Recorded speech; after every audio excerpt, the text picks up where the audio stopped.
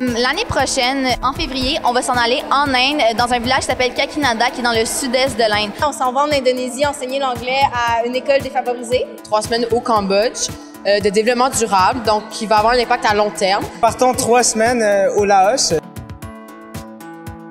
Donc nous, on va partir avec un organisme. Cet organisme-là a été fondé par un homme du village qui connaît réellement les vrais besoins euh, de sa communauté. Donc on n'est pas là pour faire du volontourisme, on est là pour faire un vrai changement. Ben, pourquoi qu'on a choisi ce projet?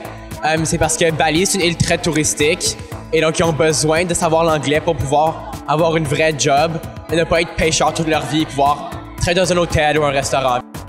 Notre projet, c'est aller enseigner à des jeunes enfants euh, de l'école locale. Donc, on veut vraiment offrir une possibilité d'avoir un meilleur futur. Notre projet, il va être avec le docteur Chandra, euh, qui est euh, le fondateur de, la, de MSMF, donc Manja, Manjari Sankranti Memorial Foundation.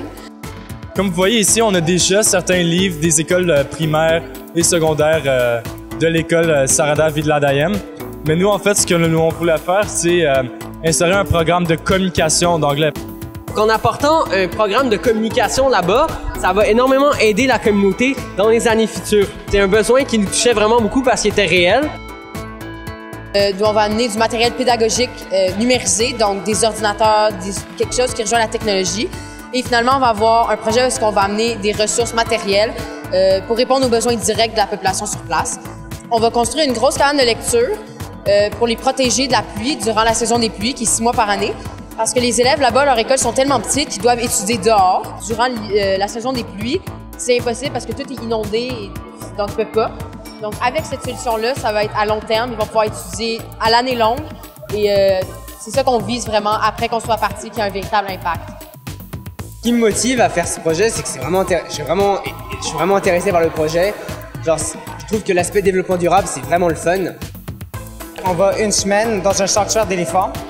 Donc, euh, les, les, éléphants qui sont maltraités là-bas pour les balades d'éléphants, puis euh, eux qui sont maltraités et surexploités, ils sont envoyés dans ce sanctuaire-là.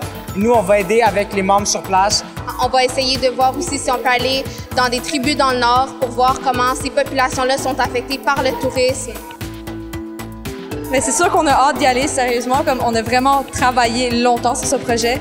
Donc, on est vraiment, vraiment content de, ce qui s'est passé, du résultat de ce qu'on a réussi à avoir. Euh, donc, on a vraiment, vraiment hâte. Je pense que je parle pour toute l'équipe. Sérieusement, on peut pas attendre.